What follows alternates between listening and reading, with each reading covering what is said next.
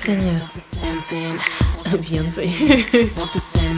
Plutôt live. Je préfère un live. Ma famille regarde. Tatouage. Mais j'en ai pas encore. Encore. R&B. Quoique en ce moment. C'est relatif. La nuit. Aucun des deux. Aucun des deux. Vin blanc, balcon, soul music et euh, de grandes conversations. Mon assurance sur scène. Quand je panique. Je surréagis dans toutes les situations possibles.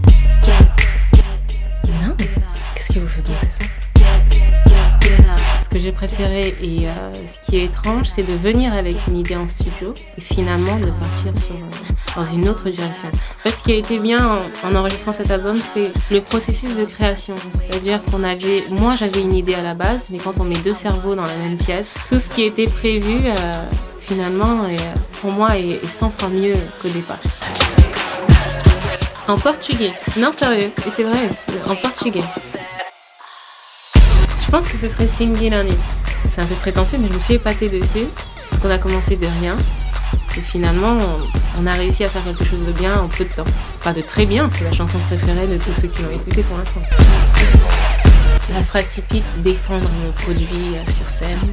C'est exactement ça. Euh, les cinq chansons ont été faites en studio et maintenant le but c'est de, les faire écouter euh, au public, de les défendre sur scène, avoir des retours, et avancer qu'ici on fera 10 titres la prochaine fois. C'est une bonne rencontre, on s'est euh, bien amusé finalement. Enfin, moi je me suis bien amusée, lui il dira ce qu'il veut. Non, travailler avec les prods c'est euh, c'est super intéressant, c'est super créatif aussi. Posez-moi des questions. Au début, euh, je trouvais le projet assez cool parce que bah, déjà, j'avais jamais travaillé euh, avec une fille qui chantait, euh, qui chantait de la soul, etc. Et ce qui était intéressant, c'est qu'elle a aussi euh, l'ouverture de faire un peu plus que juste ce qu'elle sait faire, et du coup, c'est ça qui était intéressant. Euh, J'ai commencé quand je devais avoir 12-13 ans, et euh, j'ai commencé avec la guitare. Et, euh, et voilà, puis après, de fil en aiguille, j'ai eu un groupe, j'ai enregistré mon groupe, j'ai eu des potes, j'ai enregistré mes potes, et puis voilà, maintenant j'en suis là. Quoi, ça fait euh, 10, 10-12 ans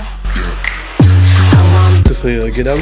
Parce que de 1, c'est la, la musique entre guillemets qui a, qui a officialisé le, travail puisque c'était un peu le morceau test hein, au début. J'ai pris beaucoup de plaisir à faire cette chanson, je trouve qu'elle a un style original, vachement euh, rythmé et enjaillant, c'est cool. Et euh, il y a un petit côté un petit peu Nicki dessus que j'aime bien, il y a un côté un peu sombre, il y a un côté un peu euh, trap, il y a un côté un peu hip-hop. C'est un mélange de tout ça, je trouve ça cool. Bon, c'est quand elle est pas là, parce qu'elle est en retard. Du coup, bah, on peut pas vraiment dire que c'est un des pires moments avec Tiana puisqu'elle est pas vraiment là. Mais, c'était sûr que voilà, se baser sur les cadrans solaires pour arriver à l'heure, c'était pas ouf quoi. Des ombres, etc.